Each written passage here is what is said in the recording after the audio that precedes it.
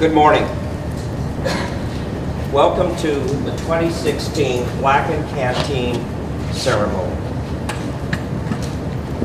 This morning, I'd like to introduce to you our honored guests, Council General and Mrs. Mrs. Yasushi Misawa from the Japanese Consulate of Honolulu, Dr. and Mrs.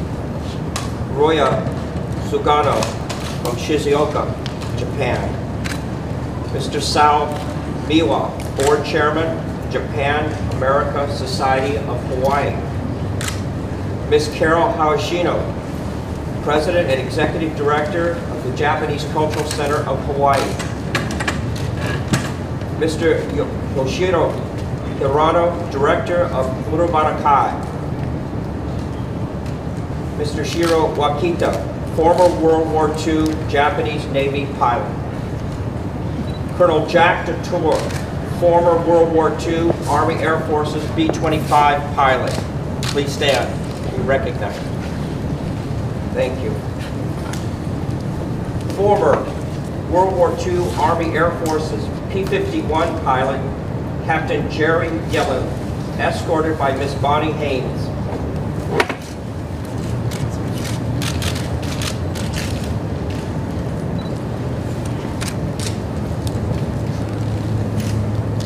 Bonnie Haynes is the widow of Marine Corps Major General Fred Haynes and the director of the Iwo Jima Association. Our two active duty officers today are Colonel Kanai Tamakoshi, Japanese Air Civil De Self-Defense Force, and our American representative, Major Don Wright, United States Air Force. Bishop Ryokan Ara from the Tendai Mission. Chaplain and Mrs. Robert Lawrence from Fall River, Massachusetts. Nicholas Bernice and the Dartmouth College Choir.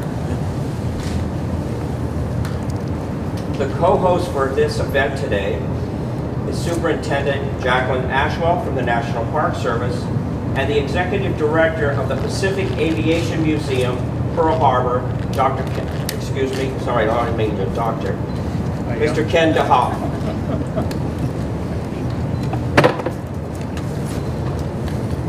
Mr. Ken DeHoff is our, uh, excuse me, Ms. Jacqueline Ashwell will be our first speaker.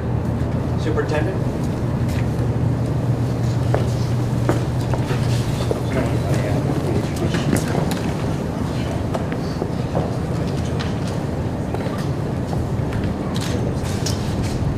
Good morning. War is tragic, and it can bring out the worst in mankind. And yet, there can be glimmers of hope that out of death and destruction can emerge exemplary virtue. On June 19, 1945, two American bombers collided mid-air over the Japanese city of Shizuoka during a bombing mission. Both air crews were killed in the crash, and the raid killed 2,000 Japanese citizens. The loss of life, all life, is tragic. Fukumatsu Ito, a Japanese farmer, buried the crew members alongside the citizens of Shizuoka who perished. He eventually built the Sengen Hill monuments in hopes of promoting peace between the United States and Japan. It is out of this tragedy that we celebrate and commemorate life, all life, by observing this ceremony. This illustrates virtue. On behalf of the Department of the Interior, National Park Service, World War II Valor in the Pacific National Monument, partnered with the Pacific Aviation Museum, we would like to welcome you to the 2016 Blackened Canteen ceremony on the 75th anniversary of the attack on Oahu. We are all here to remember those who lost their lives in that midair collision on that fateful day in 1945. But in a larger sense, we remember all of those who died during the Second World War. May we continue to live in the spirit for which this ceremony was created, in the spirit of peace, compassion, and reconciliation. Again, welcome.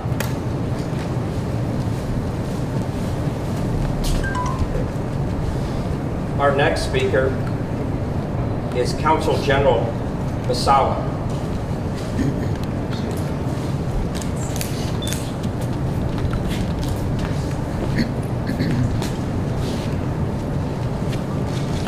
Misawa. Good morning. This is great pleasure and honor for my, my wife Yoko and me to join all of you in 2016 Black Canteen ceremony. Almost a year ago, I had a Black Canteen ceremony for the first time.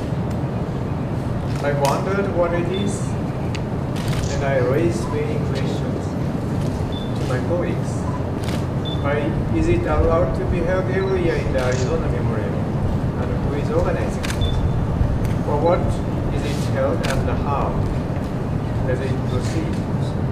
I could not know well even after the brief explanation.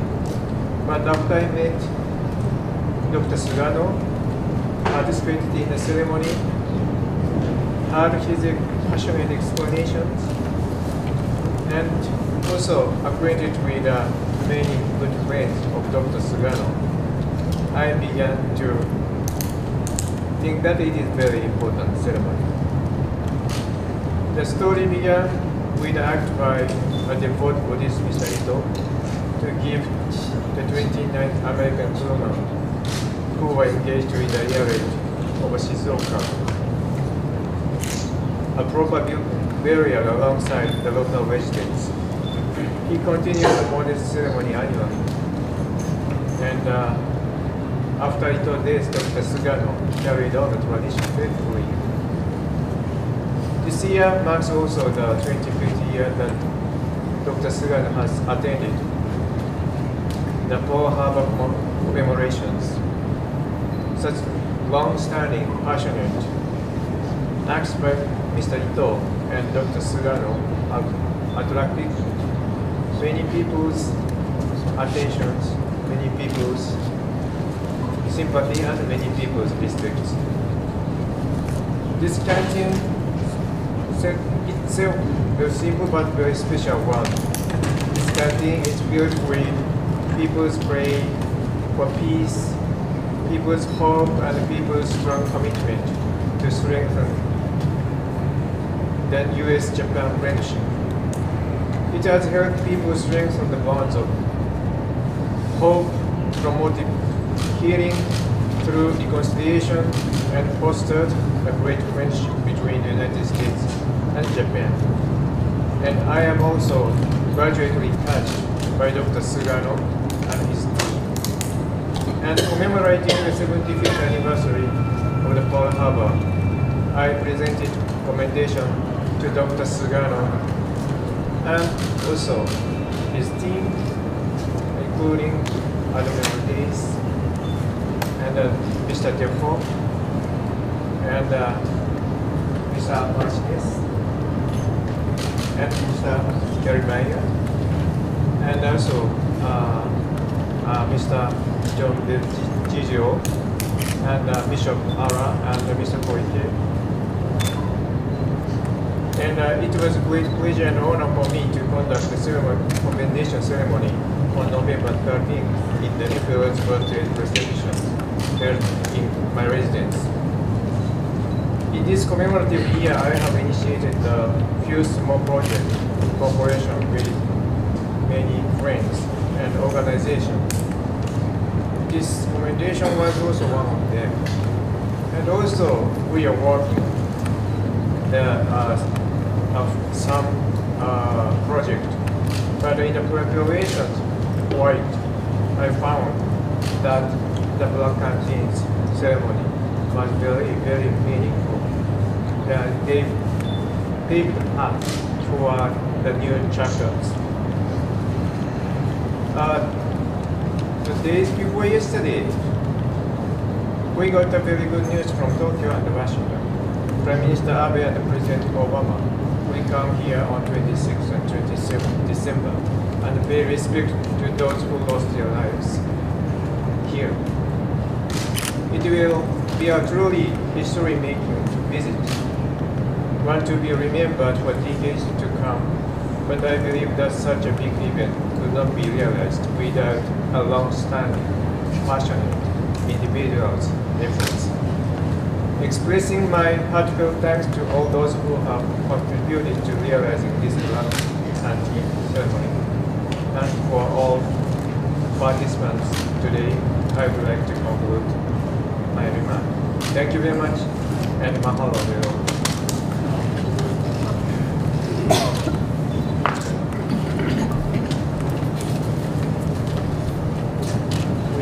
call to the podium at this time Mr. Ken DeHoff for his remarks.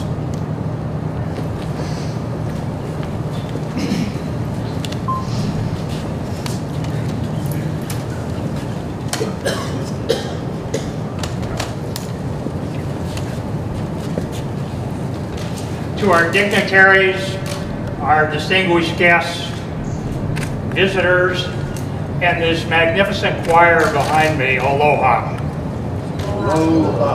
What a beautiful day here in Hawaii.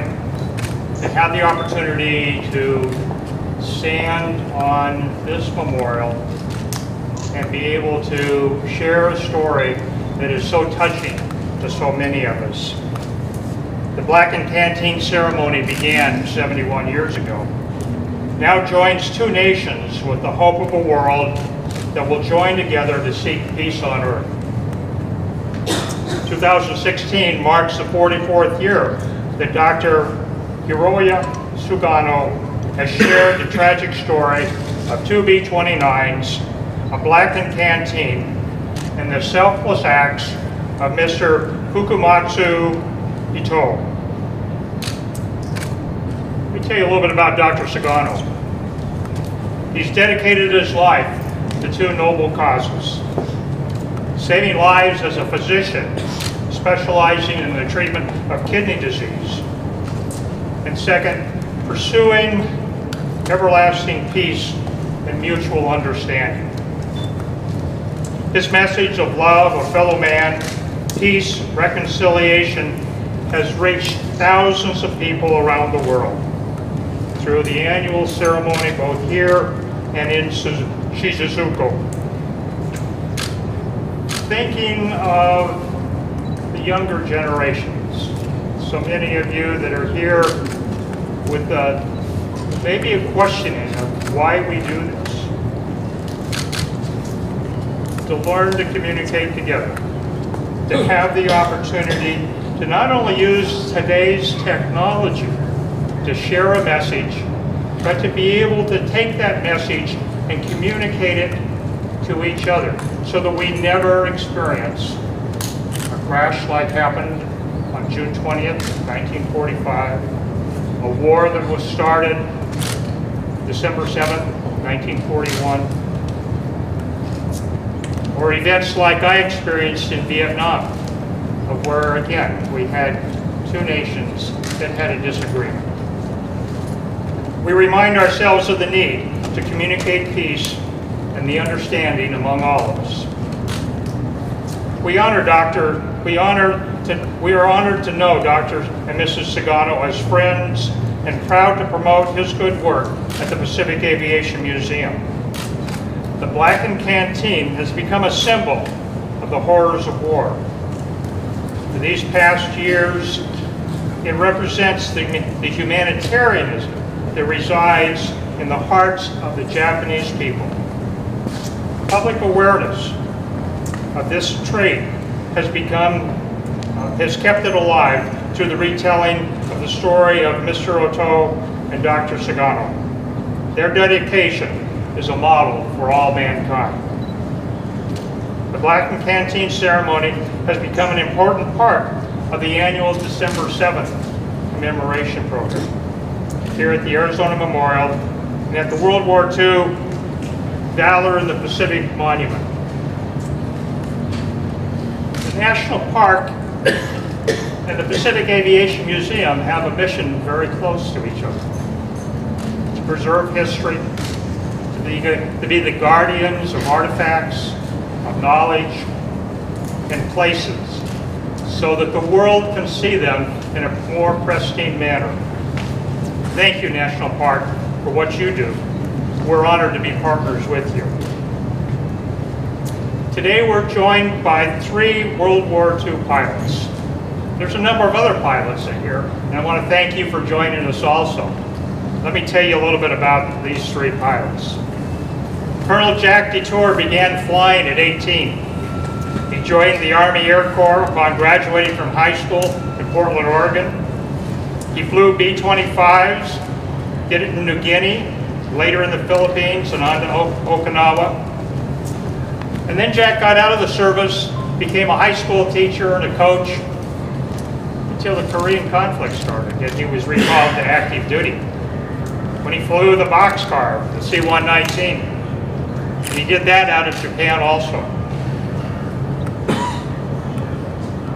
This is his third year that he's participated in this ceremony. Jack, thank you. It's nice to see you. Captain Jerry Yellin also began flying at 18 when he enlisted as an aviation cadet in 1942. He graduated from fighter pilot school and then he moved here to Hawaii flying P-40s. He's one of the first that learned how to fly the P-51s and then escorted B-29 bombers from Guam and Iwo Jima into Japan. He flew the last combat mission of World War II, August 14, 1945, the day the war ended. Jerry's also a noted author. In 2008, he wrote the book Blacken Canteen, which his ceremony is about. Jerry, thank you so much for being here. Mr. Shiro Wakita began flying at 18 or 17 also in a special Imperial Japanese Naval Flight Program, Yokaren. His flight training was not completed, however, when the war ended. So he returned to, to civil to civilian life in the travel industry, working many years to promote the Olympics and peace. He remained a member of the Unabarakai Association of former Zero pilots. Each of these men have stories that go much deeper than we're allowed to share.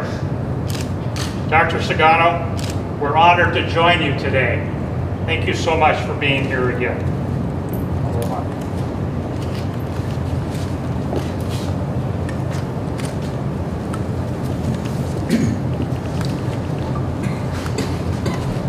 Thank you, Ken. And thank you to our veterans that are here.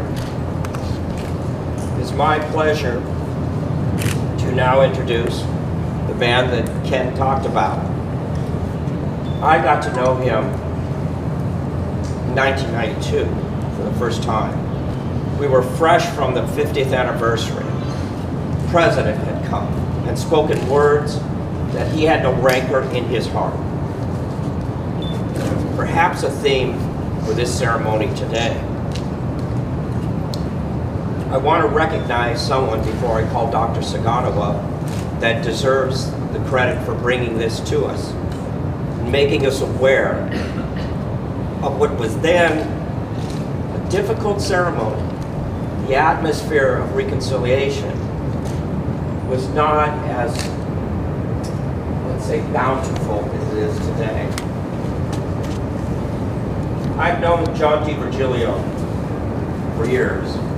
He opened up avenues of history to the Japanese aviation on that fateful day and to the Battle of Midway. He made me aware of the history that was right underneath my feet, had it translated so that I could pass it on, not only in articles, but talks that I gave. John, would you please stand and be recognized?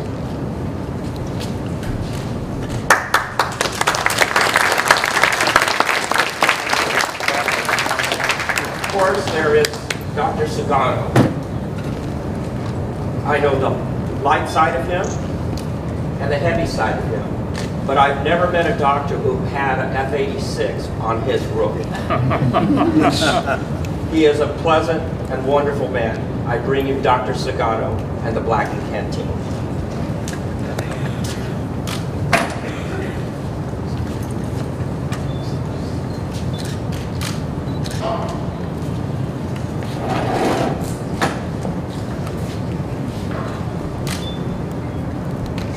Good morning, everybody. Good morning. Please pardon me my broken English because my English just under construction.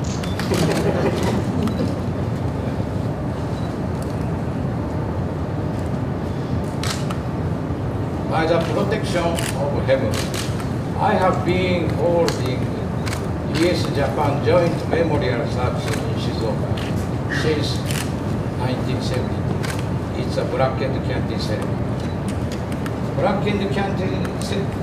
Was only one article of deadbeat 29 crew du- during bombing Shizuoka by Midway College.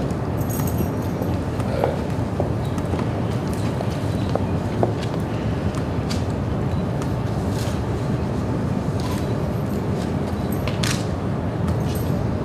Excuse me. Since 1972, I, I have holding this ceremony. I would like to take this opportunity to show great respect for both the U.S. Navy and the Consul General Misawa. To host the Blackened Canteen ceremony could, could never have happened without a tremendous understanding from the U.S. Navy, Admiral Hayes, Mr. Gary, and many, many American friends. I also would like to, thank Consul General Misawa uh, for making and supporting such a decision. When I visited Pearl Harbor at the 50th anniversary after World War II ended, I did not know this day would ever come. I'm certain that this memorial service will be a bridge between Japan and US friendship and contribute world peace. God bless you. Thank you.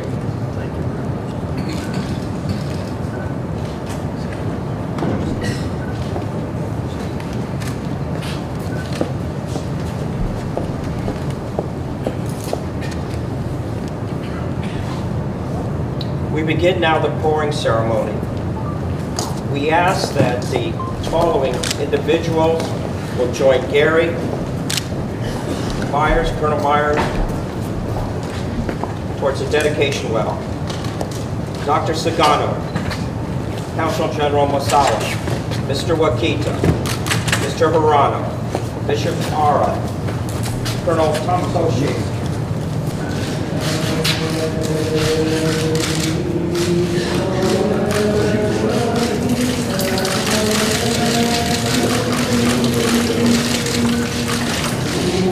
Thank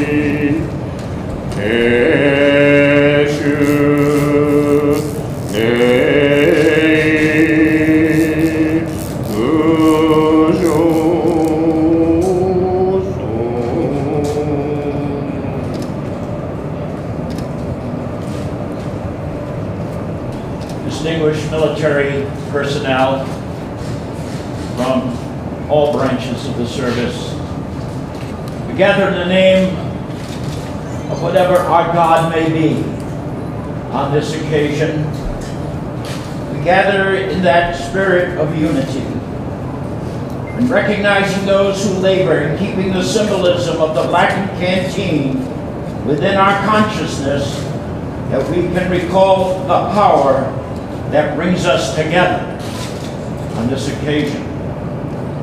As we observe the impression of the pilot's hand on this canteen, O Lord, we pray that your hands will make impressions on our spirit to unify our efforts into a brotherhood of humanity. May the impression of your hands in our lives motivate us to seek our common heritage that speaks of your love. And may the impression of your hands on our hearts find that power that surpasses all human understanding. And just as the flags of our two countries fly together at the memorial site on Sangan Hill, may they represent a lasting goodwill of friendship. But like the canteen with its dents and its marks and its bruises, it survived because someone needed a lasting memory that should never be forgotten. These 71 years, O Lord, of its existence have provided a personal scars, wounds, and damage many of our lives. But we too have survived because of your grace, O God.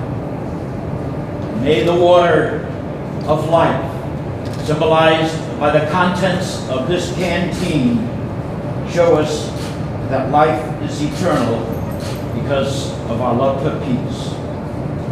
Indeed, O God, Shinosaki referred to the raid in which this canteen was recovered as a return to the dark age.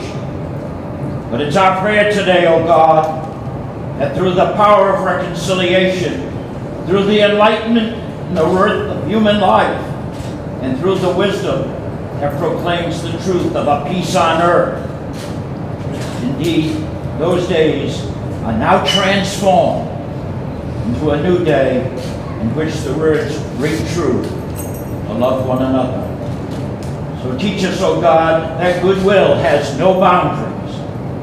And it is our prayer that this blackened canteen always remain as a symbol of life. Keep the spirit of the peacemakers among us motivated in fulfilling your command that righteousness exalted a nation. May the Lord continue to bless those who were the victims of that fateful day in 1945, O God, so that we may through them turn any weakness that results to hate into a strength that unite, unites humankind. That in our sorrow and loss we find comfort that surpasses any misunderstandings. And that in our humanity we seek and find a resolution that will always bring peace. So may the Lord make his face to shine upon those that assemble here today, that through their efforts we captured the meaning of the words that were spoken by Judy Sakano when she wrote, O Lord, to rejoice in our diversity, knowing that it is our greatest strength, and to strive unceasingly for one world united in harmony, peace, and and prosperity.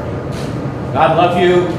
May the peace all the things until I become to know and appreciate abide with us now and forevermore. Peace, shalom, and amen. Thank you, Reverend Lawrence. We ask, uh, as these proceedings come to an end, that those of you who have not had the opportunity to drop flower petals in uh, the well, the USS Arizona Memorial, you do do so. I'd like to thank Colonel Myers for his assistance and partnership on this ceremony. I thank each and every one of you for attending, getting up early, and celebrating this beautiful day here at Pearl Harbor. These proceedings are now closed.